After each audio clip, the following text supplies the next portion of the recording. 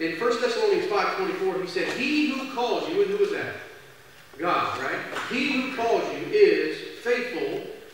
And he could have stopped right there, but he said, and he will do it. So when you go back and you read the scriptures, and what you find is that God is constantly reminding us that he is with us, and if we will simply lean into him and trust in him for our sustenance, him for our wisdom, him for our strength, him for our provision, he is faithful because He called us and He.